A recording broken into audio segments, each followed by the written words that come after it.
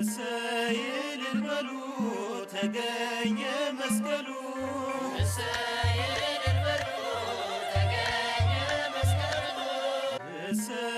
እልል በሉ ተገኘ መስቀሉ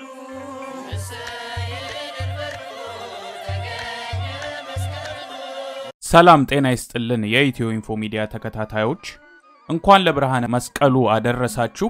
በዛሬው ዕለት በሚደረገው የደመራ በዓል ላይ የአዲስ አበባ ፖሊስ ኮሚሽን ባወጣው ማስጠንቀቂያ መሰረት የኢትዮጵያን ሰንደቅ ዓላማ ይዞ መገኘት እንደማይቻል የኢትዮጵያ ሰንደቅ ዓላማ ስንል ሕዝቡ ሁሉ በአንድ ድምፅ የሚስማማበት ሰንደቅ ዓላማ ስለሆነ ነው። እነሱም ለዛ ነው ሕገ መንግስቱ ከሚፈቅደው ብለው በሕገ መንግስቱ ቋጠሮ እኛ ላይ ሊጭኑ የፈለጉትን ነገር ያመጡብን። ሕገ መንግስቱ ያሉት ለዛ ነው እና በዚህ ጉዳይ ላይ ልል የፈለግኩትን ነገር እያዘጋጀው ሳለ በመልአከ ሰላም ቀሲስ ደጀኔ ሽፈራው የተጻፈ አንድ ጽሑፍ አየሁና በደንብ አድርጎ ስለሚገልጸው የእሳቸውን ጽሑፍ ላካፍላችሁ ወደድኩኝ። መልአከ ሰላም ቀሲስ ደጀኔ ሽፈራው ያቀረቡት ጽሑፍ በእንደዚህ መልክ ይቀርባል። ለኢትዮጵያ ኦርቶዶክስ ተዋሕዶ ቤተ ክርስቲያን ሲሆን ሕግ ይጠብቃል። ለምን የሚለውን ለመመለስ ብዙ አንደክምም። ምክንያቱም ሁሉም ነገር ሰው ያወቀው ፀሐይ የሞቀው የአደባባይ ምስጢር በመሆኑ ማስረጃም መረጃም አያስፈልገውም።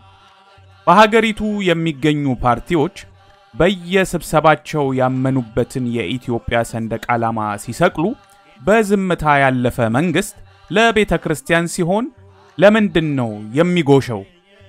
ወይስ ኦርቶዶክስ የነፍጠኛ ዋሻ ናት የሚለው አዚም አሁንም አልለቀቀውም።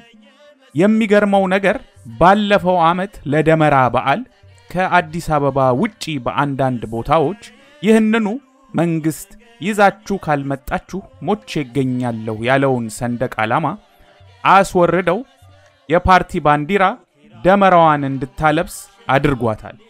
ምክንያቱም መንግስትም የሰፈር ጎረምሳም የሚበረታው በኦርቶዶክስ ተዋሕዶ ቤተ ክርስቲያን ላይ ነው። የኢትዮጵያ ኦርቶዶክስ ተዋሕዶ ቤተ ክርስቲያን ለዚህች ሀገርና ሰንደቅ ዓላማ የሕይወት መሥዋዕትነት ከፍላለች። ልጆቿ ከምዕመናን ጀምሮ እስከ ሊቃነ ጳጳሳት ድረስ ሕይወታቸውን ገብረዋል። የብፁዕ አቡነ ጴጥሮስ ሐውልት መሃል አዲስ አበባ ላይ፣ የብፁዕ አቡነ ሚካኤል ደግሞ ኢሉ አባቦራ ጎሬ ላይ ቆመው የሚመሰክሩት ይህንኑ እውነት ነው።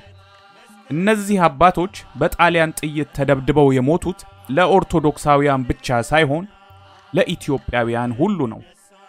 ስመጥር የሆኑ አብዛኞቹ ጀግኖች ጀነራል ጃገማ ኬሎ፣ አብዲሳ አጋ፣ በላይ ዘለቀ፣ ዘርአይ ደረስ፣ አሉላ አባነጋ፣ ራስ መኮንን ወዘተ ኦርቶዶክሳውያን ነበሩ። እነዚህ ሁሉ የታገሉት ለሁሉም ኢትዮጵያውያን ነው። የመጣ ጠላት ሁሉ ያቃጠለው ገዳማትን፣ አድባራትን እና አብያተ ክርስቲያናትን ነው። መነኮሳትና ካህናት በጅምላ ተረሽነዋል። የአንገት ማኅተማቸውን አጥብቀው ዳዊታቸውን አንግተው የዘመቱ ምዕመናን ለሰንደቅ ዓላማ እንደ ቅጠል ረግፈዋል። ስለሆነም ቤተ ክርስቲያን ስለ ኢትዮጵያ ከማንም በላይ ያገባታል። ሰንደቅ ዓላማ የመጣ መንግሥት ሁሉ የራሱን ኮተት ስለሚለጥፍበት አንዱ መጥቶ ሌላው ሲመጣ ቤተ ክርስቲያን አብራ መገለባበጥ የለባትም። የመጣ መንግሥትም ነገ መሄዱ ላይቀር ቤተ ክርስቲያንን ማስገደድ የለበትም። የማስገደድ መብትም የለውም። ይልቅስ የማስገደድ መብት ያላት 60 ሚሊዮን ተከታይ ያላት ቤተ ክርስቲያናችን ነች። ለምሳሌ ይላሉ ቀሲስ ደጀኔ በአዲስ አበባ 85 ፐርሰንቱ ኦርቶዶክስ ነው። መንግሥት ቁጥሩን ቀናንሶ እንደሚነግረን እንዳይመስላችሁ። ስለዚህ ከንቲባው ኦርቶዶክስ መሆን አለበት ብለን መከራከር እንችላለን። ነገር ግን ይላሉ ቀሲስ ደጀኔ፣ ነገር ግን በኢትዮጵያውያን ሁሉ ስለምናምን አላደረግነው። እባክህ መንግሥት ሲሉ ይማጸናሉ ቀሲስ ደጀኔ። እባክህ መንግሥት ቤተ ክርስቲያን የምትሠራውን ስለምታውቅ ጣልቃ እየገባህ ልዘዝሽ አትበል። ያለፉትን ሰዎች የጠላ ነው ቀዩን መስመር አልፈው ፓትርያርክም ጳጳስም ሥራ አስኪያጅም የደብር አለቃም ጸሐፊም ወዘተ እንሹምላችሁ ማለታቸውን ነው። ቤተ ክርስቲያን የራሷ የሆነ የሰንደቅ ዓላማ ትርጓሜ ስላላት ተወት አድርጓት ብለው ጽሑፉን ያበቃሉ ቀሲስ ደጀኔ ሽፈራው። ይህ ጽሑፍ በጣም የሚገርመው አንድ ሀቅ ግን ይህንን በማድረጋቸው እንደውም እነሱ ካሰቡት በላይ ሰው ያንን አረንጓዴ፣ ቢጫ፣ ቀይ የኢትዮጵያን ባንዲራ ከምንጊዜውም በላይ በ social media ላይም ይሁን እንደዚሁ በምናያቸው ፎቶዎች በየሰፈሩ በየተለያዩ የክልል ከተሞችም ሲወጣ ነው ያየ ነው እና እንደውም ሳያስቡት ለዛ ባንዲራ ለዛ ሰንደቅ ዓላማ ህዝቡ ልብ ውስጥ ስላለው ሰንደቅ ዓላማ በእነሱ ያፈኑ መስሏቸው ይባስ ሰው ሁሉ ትኩረት እንዲሰጠው ነው ያደረጉት። መከላከል የፈለጉት ነገር ካለ መከላከል ይችላሉ። የጸጥታ ስጋት አገሪቷ ላይ ካለ ያንን የጸጥታ ስጋት የመከላከል ጉዳይ የራሱ የመንግስት ነው።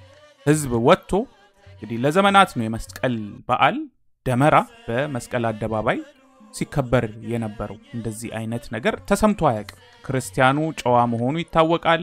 እንደውም የተለያዩ መጥፎ ነገሮችን ይዘው የሚወጡ ሰዎችን ሁሉ ራሱ እየገሰጸ ሲያስቀር ነው የሚታወቀው እና ይህ የሃይማኖት ክብረ በዓል እንደመሆኑ በሃይማኖት ክብረ በዓል ላይ ይዘው የሚወጡት ሃይማኖታችንን አትንኩ ከሚል ነገር ውጪ ሌላ ምንም ይዘው እንደማይወጡ እየታወቀ እንደዚህ አይነት ተራ የሆነ መግለጫ አውጥተው ህዝቡን ለማፈን መሞከር ሌላ የጠቅላይ ሚኒስትሩና የመንግስታቸው ውድቀት ሊሆን እንደሚችል አመላካች ነው።